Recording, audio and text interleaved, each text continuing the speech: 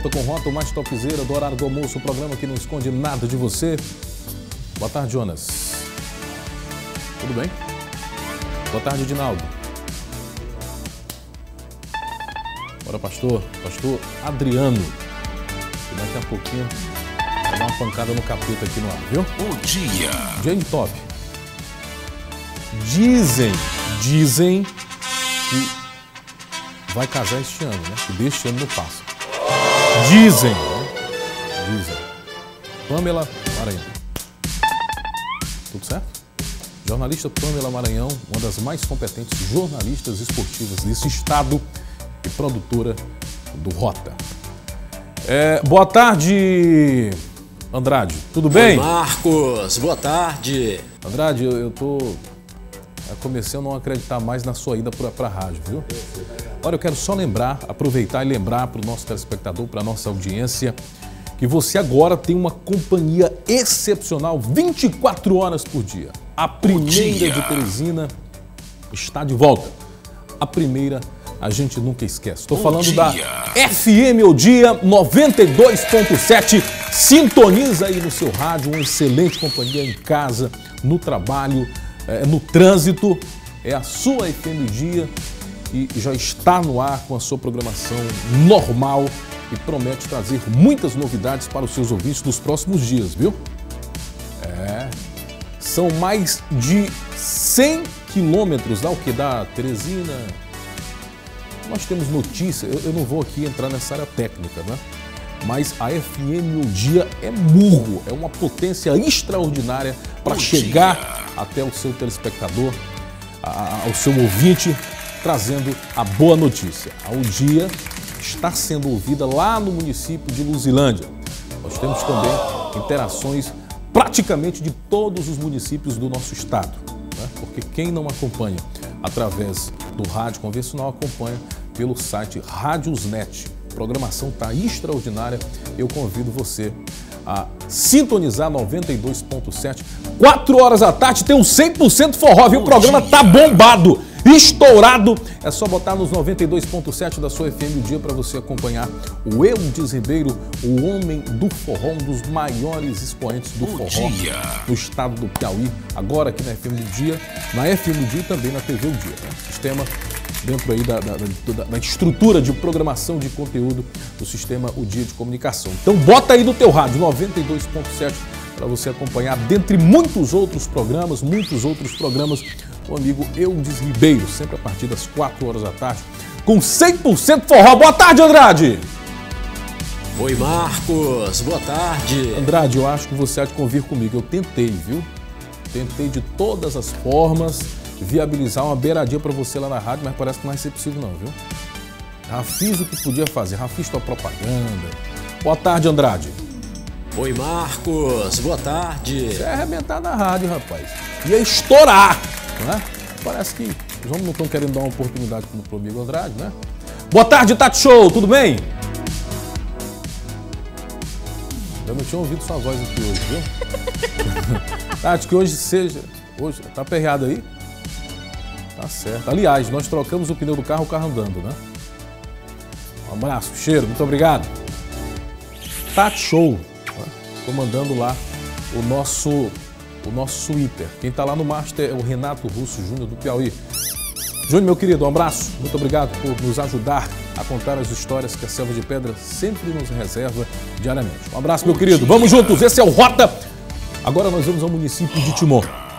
Você vai conhecer a história do Sebastião, o Tião, que iniciou alguns meses atrás um negócio das Arábias lá no município de Timon. O Tião estava quebrado, a dificuldade financeira era tremenda. Foi daí que houve o estalo. Vou montar um CNPJ do capeta. Para o Tião, seria grande oportunidade de melhorar a sua vida financeira. Para se ter uma ideia, ontem, por volta das 4 horas da tarde, horário em que muita gente se encontra trabalhando, o Tião estava tirando onda num bar, tomando umas e outras. e gastando o seu dinheiro suado do seu recém-inaugurado CNPJ do Capeta. Polícia chegou para acabar com a farra do Tião. O Tião acabou entregando o jogo, abrindo as portas da sua empresa que, vamos lá, viu? Estava prosperando. Mas o que restou depois da quebra de mais esse CNPJ de, do capeta no município de Timon foi exatamente a falência do Tião no ramo dos negócios dos soldados do capeta. A história é do garotinho na praia, o play é da Tati Show nas lentes do programa que não esconde nada de você. Play, Tati Conta aí, Vai. garotinho da praia. Marcos, nós estamos no bairro Joia, na cidade de Timon, para falar da prisão de um traficante. Ele tem apenas 20 anos, é o Sebastião Oliveira Coimbra, depois de muitas denúncias das pessoas e investigação dos homens da civil aqui do segundo DP, o capturaram em um bar. E olha só a quantidade de drogas que foi apreendida junto com ele.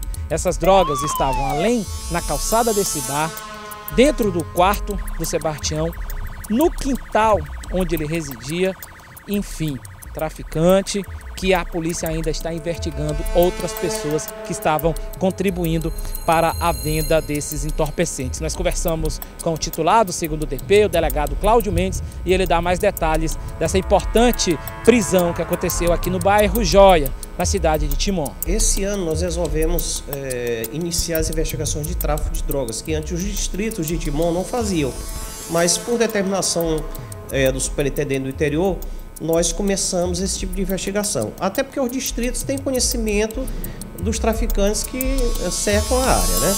Então, nós recebemos várias denúncias ao longo dos últimos dois, três meses a respeito do, do Sebastião Oliveira Coimbra, de 20 anos, de que ele traficava drogas é, na calçada de um bar na rua Topázio do Parque Joia. O Parque Joia é bem próximo aqui do distrito policial. Então, nós passamos algumas vezes lá para observar, realmente nós constatamos que o Sebastião, pelas características que nós tínhamos, estava lá né, sentado exatamente nesse local, cercado de usuários de droga. Então, pelas características das pessoas, a gente percebe que são usuários de droga. Então, na manhã de hoje, nós resolvemos fazer essa abordagem e, de cara, nós encontramos no bolso do, do Sebastião R$ 93,50 de dinheiro trocado, que é bem característico do tráfico. E após uma busca no local, nós achamos enterrado próximo dele uma, um saco com algumas petecas de maconha. E no quintal da onde funcionava o bar, que também ele tinha um quartinho onde ele morava, nós encontramos também enterrado um saco com 24 petecas de crack. Dentro do quarto dele, onde ele dormia, nós encontramos um material para embalar, um saco plástico exatamente igual ao saco que estava embalando essas drogas além de bicarbonato de sódio, que ele utiliza para misturar na droga quando ele compra, aumentar o volume e depois fazer a embalagem. Né? Então, por esse motivo, ficou bem caracterizado o crime de tráfico, foi dado ordem de prisão para ele e apresentado na central de flagrantes daqui de Timon. Sebastião, ele outras, em outras oportunidades já havia sido preso ou não? Não, essa é a primeira vez que ele é preso.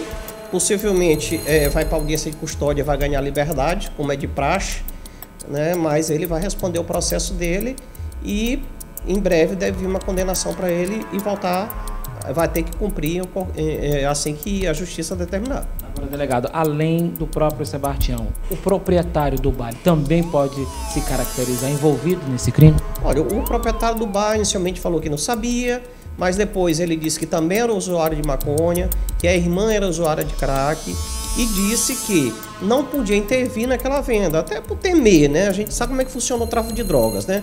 Homicídios, é, é, é, é queima de arquivo, então ele tinha medo de interferir e receber uma represária. Então, é, acabo que realmente as investigações eram de que apenas o Sebastião vendia droga e somente ele faltado. Além dele dessas drogas, alguma arma foi encontrada? Não, não, foi encontrada nenhuma arma. A gente acredita é, que o Sebastião ele era apenas um vendedor de ponta, né? O dono da, da droga a gente está investigando, já tem ideia mais ou menos de quem seja, né? O traficante de médio porte que vende para esses pequenos traficantes finais e a partir daí esses traficantes finais são vendidos para os usuários. Aí é assim que inicia a investigação. Vende o traficante pequeno para depois chegar nos médios e quem sabe nos grandes traficantes. Cometi aqui um grande equívoco, viu? Porque eu falei que o Tião estava num bar curtindo, usufruindo exatamente dos ganhos desse CNPJ do capeta, viu? Ele é obstinado. Em, em, em pleno, é, é, quatro, cinco horas da tarde, o Tião estava atendendo a clientela. Né? Já estava com quase 100 contos no bolso e o negócio ia de vento e pouco. A polícia chegou, acabou com o C, quebrando o CNPJ do capeta do Tião. E agora vai responder a banca. Olha, é, é, esse momento é muito importante aqui dentro do programa e é um momento que o, feedback que a nossa equipe tem tido com o telespectador é extraordinário. Né? Isso é um reflexo de como as pessoas estão é, realmente correndo à deriva. Né? Muita gente atrás de uma oportunidade de trabalho, muitas pessoas não sabem nem de fato o que estão procurando. Mas de uma coisa eu tenho a mais absoluta certeza: todos nós temos que procurar a palavra do Senhor. Quantas e quantas pessoas não estão nesse momento passando por problemas financeiros? Quantas e quantas pessoas não devem estar sofrendo nesse momento porque tem um ente querido envolvido no submundo do crime, um ente querido afundado na droga, no álcool. E é exatamente neste momento que o Rota puxa, tira o pé do acelerador, porque a realidade da selva de pedra não é fácil. É uma realidade que gera sofrimento a todos aqueles que fazem parte desse cotidiano, infelizmente violento e que gera muita dor para muitas pessoas. E é exatamente que a gente puxa, tira o pé do acelerador para ouvir a palavra de Deus com o pastor Dias, agora no Rota. Boa tarde, pastor. Boa tarde, Marcos. Boa tarde a todos os amigos do estado do Piauí. E você de Teresina, muita paz para sua vida, para sua casa. A Bíblia Sagrada diz que Jesus é o príncipe da paz e a rosa de Saron. Por esse motivo, nós vamos estar entregando gratuitamente uma rosa branca como esta, símbolo da paz. Eu vou estar explicando para você o significado desta rosa. A Bíblia diz que Jesus é a rosa de Saron e o príncipe da paz. Nós vamos estar distribuindo para a senhora que de repente na sua casa um ambiente pesado, Marcos, tem casas que é brigas dia e noite, é confusões, é doença, é pessoas no fundo de poço, é pessoas drogadas, viciadas, a tribulação, a violência tem tomado conta da vida de muitas pessoas. Nós vamos estar combatendo esse mal com orações dentro da palavra de Deus para ver a sua vida abençoada. Nos procure, nosso endereço ali na Grande Santa Maria é na Rua Monte Verde, frente à praça do Parque Firmino Filho, Santuário da Glória de Deus. Você pode mandar o seu pedido de oração aí no WhatsApp que aparece aí no caracteres do seu vídeo. Nós vamos estar recebendo todos os pedidos de orações e orando por você, pela sua casa, pela sua família. Você que deseja essa rosa na sua casa, envie o seu pedido também da rosa. Nós vamos estar levando até você, distribuindo para você essa rosa, com uma oração da paz para que você abençoe o seu lar, abençoe a sua casa, tá certo?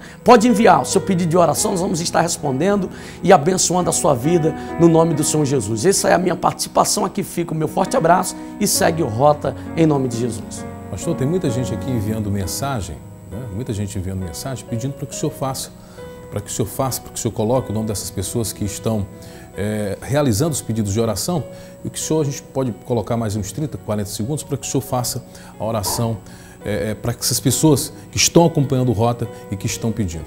Pode ficar à vontade, pastor. Então vou realizar essa oração em nome de Jesus. Meu Deus, em nome do Senhor Jesus, meu Pai, a sua palavra diz que onde tiver duas ou mais pessoas reunidas no seu nome, o Senhor se faz presente.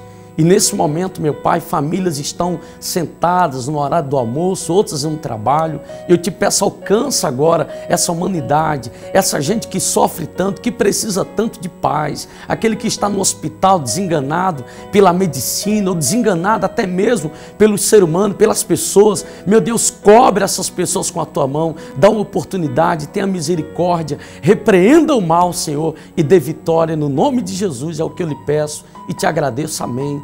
E graças a Deus. Graças a Deus.